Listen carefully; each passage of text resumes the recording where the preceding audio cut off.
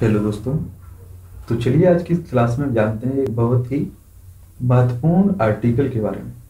ये आपका आर्टिकल है जनजातीय स्वास्थ्य व्यवस्था से संबंधित। तो एक परिचय देखेंगे और जनजातियों के साथ स्वास्थ्य का क्या मुद्दा जुड़ा हुआ है, उस पर भी हम लोग चर्चा करेंगे। और आज की इस क्लास में हम जनजाति के बारे में आपको बहुत अच्छे से समझा देंगे कि जनजातियाँ होती क्या है और इनकी क्या संख्या है क्या क्या है, प्रॉब्लम सब देख लेंगे। फिर उसके बाद आपका आदिवासी स्वास्थ्य सेवा की स्थिति में सुधार के लिए क्या प्रयास किए जा सकते हैं? उनके बारे में बात करेंगे। कुछ अन्य निर्देश देखेंगे और क्या होना चाहिए इस क्षेत्र में, उस पर भी आपकी चर्चा करेंगे। क्योंकि आप अक्सर देखते रहते होंगे जनजाति, यानी कि आदिवासी, जो आपने देखा होगा आपकी ग्रामीण क्षेत्र में पहाड़ों की तरफ़ रहते हैं, उसे ही आप लोग जनजाति कहते हैं। तो इससे का प्रावधान की बात करें हम लोग तो आदिवासी आपका दो शब्दों से बनकर मिला है। जिसका मतलब होता है मूल निवासी, जो आपके गांधी जी थे। इन्होंने आदिवासियों के लिए गिरिजन शब्द का प्रयोग किया था। गिरिजन शब्द का मतलब होता था पहाड़ पर रहने वाले लोग। और आप इसे बनवासियों के नाम से भी जानते हैं आप लोग सब। और आपका जो संविधान में इसका जनजाति शब्द का यूज़ किया गया है इनकी जगह।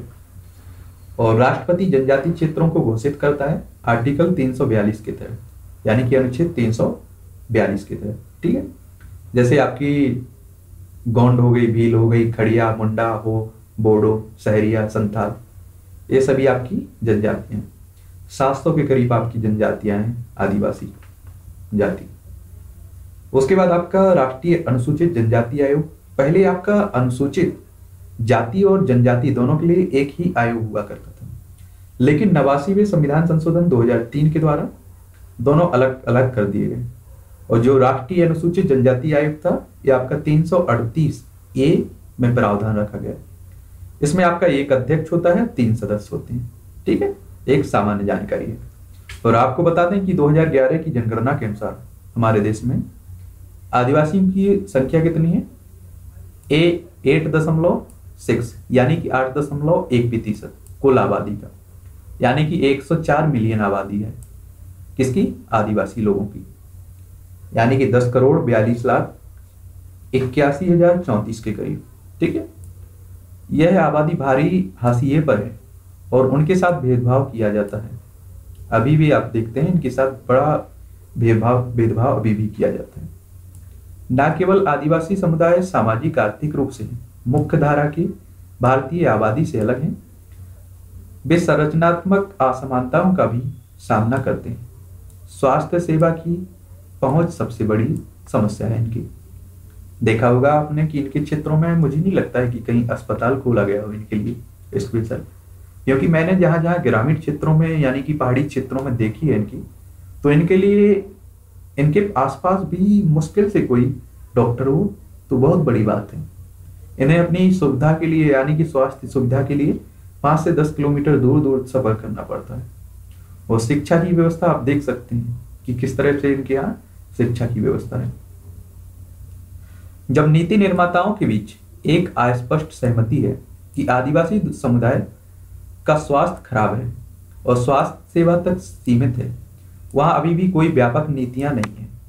जो इस ज़रूरत को पूरा करती और आदिवासी स्वास्थ्य की स्थिति के बारे में कोई विश्वसनीय डेटा भी नहीं है। भारत में जनजातीय स्वास्थ्य सेवा आमतौर पर ग्रामीण स्वास्थ्य सेवा के दायरे में आती है। यह धारणा है कि आदिवासी लोगों की समस्याएँ और जरूरतें वही हैं जो ग्रामीण आबादी की गलत हैं। क्षेत्र, पर्यावरण, सामाजिक व्यवस्था और संस्कृति में अंतर सभी आदिवासी समुदायों को स्वास्थ्य देखभाल की जरूरतों की अपने अलग स्थिति का नेतृत्व करते हैं। एक बात आप लोगों को हमेशा बोलता आया हूँ क्या? कि मेरा मानना है कि पूरे देश में कोई भी जाति हो एक्स वाई जेड सभी के लिए शिक्षा और स्वास्थ्य की सुविधा व्यवस्था करवानी चाहिए। बिल्कुल मुफ़्त में, यानी कि फ्री में, क्योंकि यही तो ज़रूरत है हर इंसान की। अगर स्वास्थ्य उसका सही रहे, वो शिक्षा मिलती रहे तो वो अपना पेट भरता रहेगा अपने आप, अपने बच्चों को अच्छी पोजीशन देखता रहेगा और रोज़गार तुम्हें देने की ज़रूरत नहीं पड़ेगी। काफ़ी हद तक वो अपना व्यवस्था कर लिया करेंगे। लेकिन खैर छोड़िए, देश का क्या आलम है, वो आप समझ ही रहे हैं। जनजातियों के साथ स्वास्थ्य का मुद्दा किस प्रकार है, उसे देखिए। जनजातीय समुदाय बीमारी के तिगुने बोझ का सामना करते हैं। कुपोषण और संचारी रोग, जैसे आपका टीबी कुष्ठ रोग एच आदि की उच्च दर के अलावा तेज़ी से शहरीकरण और बदलती जीवन शैली और पर्यावरण के आगमन के कारण गैर संचारी रोगों के साथ साथ कैंसर, मधुमेह और उच्च रक्तचाप में वृद्धि हुई है। ये दोनों भी बीमारी, मानसिक बीमारी के बोझ और उनकी बात की लत के प्रभाव में राष्ट्रीय परिवार सर्वेक्षण, स्वास्थ्य सर्वेक्षण 2015-16 के अनुसार 42 प्रतिशत आदिवासी बच्चे को पोषण का शिकार हैं। जो गैर आदिवासी समूह से एक दशमलव पाँच गुना अधिक है। आप समझ सकते हैं कि टोटल जो आदिवासी के बच्चे हैं, उनमें बयालीस प्रतिशत बच्चे कुपोषण के शिकार हैं, यानी कि उन्हें अच्छा डाइट नहीं मिल पा रहा है खाने के जनजाति जो कुल जनसंख्या का केवल आठ दशमलव छह प्रतिशत है, उसमें से तीस प्रतिशत मलेरिया के लिए जिम्मेदार है। यानी कि जितनी जनसंख्या उसमें से, उनकी में से तीस प्रतिशत मलेरिया के लिए जिम्मेदार है। क्षय रोग के विषय में आदिवासी एक सात सौ तीन कितने पर? दस हज़ार की तुलना में। गैर आदिवासियों में आपका दो सौ छप्पन, दस हज़ार मामलों का सामना कर रहे हैं। भारत के अठारह दशमलव छह प्रतिशत कुष्ठ रोग के मामले अनुसूचित जनजातियों में ही देखने को मिलते हैं। यानी कि स्थिति खस्ता हालत कही जा सकती है। आदिवासी स्वास्थ्य सेवा की स्थिति में सुधार के लिए क्या क्या किया जा सकता है, उसे देखिए। ऐसा करने के लिए 2022 तक स्वास्थ्य सेवा की एक स्थायी प्रणाली होनी चाहिए। व्यापक प्राथमिक स्वास्थ्य सेवा, स्थानीय भागीदारी और मानव संसाधन और स्वास्थ्य शिक्षा अनुसंधान पर ध्यान केंद्रित करने की आवश्यकता है।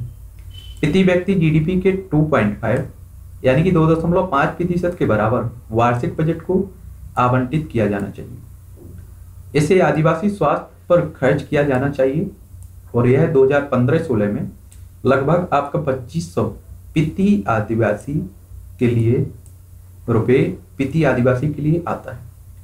नई संस्थाएँ, जनजातीय स्वास्थ्य परिषद और जनजातीय स्वास्थ्य निदेशालय, राज्य और संघ दोनों स्तरों पर स्थापित की जाने की ज़रूरत है जिससे जनजातीय स्वास्थ्य पर पूरी तरह से ध्यान केंद्रित किया जा सकता है। जिससे डेटा तैयार करना, वित्त की समीक्षा करना और कार्यक्रमों की निगरानी करना शामिल हो। सेवा वितरण को पुनर्गठित करने की आवश्यकता है, जिससे सरकार प्राथमिक देखभाल पर जनजातीय स्वास्थ्य के लिए अपने सत्तर प्रतिशत संसाधनों पर ध्यान केंद्रित करे। उपरोक्त सभी के साथ पर्याप्त मानव संसाधन और बुनियादी ढांचे के साथ सामंजस्य स्थापित करने की ज़रूरत है। कुछ अन्य निर्देश हैं इसमें, इन्हें भी देख लीजिए आप लोग। आदिवासी स्वास्थ्य समस्याओं को अलग और अलग देखना महत्वपूर्ण है। और ग्रामीण आबादी द्वारा समान रूप से सामना किए जाने वाले मुद्दों के साथ मिलकर उन्हें अलग अलग संदर्भों की उपेक्षा करता है, जिसके भीतर आदिवासी समुदाय मौजूद है। समिति ने दस स्वास्थ्य मुद्दों की पहचान की है, जो आदिवासी लोगों को प्रतिकूल रूप से प्रभावित करते हैं। ये मलेरिया, कुपोषण, बाल मृत्यु दर मातृ स्वास्थ्य समस्याएँ, परिवार नियोजन और बांझपन, व्यवसन और मानसिक स्वास्थ्य के मुद्दे, सिकल सेल रोग, पशु के काटने और दुर्घटना, कम स्वास्थ्य साक्षरता और आश्रमशालाओं में आदिवासी बच्चों के खराब स्वास्थ्य। ये समस्याएँ आदिवासी समुदाय के लिए विशिष्ट हैं और इन्हें इस तरह से पहचाना जाना चाहिए और फिर समुदाय को ध्यान में रखकर संबोधित किया जाना चाहिए। और क्या करना चाहिए? इस, इनके लिए उसे भी देख लीजिए। आदिवासी स्वास्थ्य संकेतकों पर उपलब्ध आंकड़ों की कमी है। इसलिए आगे बढ़ते हुए जिन्हें सभी शोधों को रेखांकित करना चाहिए, आदिवासी संस्कृति का सम्मान करना चाहिए। आदिवासी समुदाय के लिए प्रासंगिकता दो तरफा सीखने के माध्यम से पारस्परिकता और यह सुनिश्चित करने की ज़िम्मेदारी के लिए किए जा रहे अनुसंधान का समुदायों पर कोई प्रतिकूल प्रभाव न पड़े, ये भी ध्यान में रखना चाहिए। तो ये थी आपकी आदिवासी यानी कि जनजातियों के स्वास्थ्य से संबंधित जो मुद्दा है, उसी से संबंधित आर्टिकल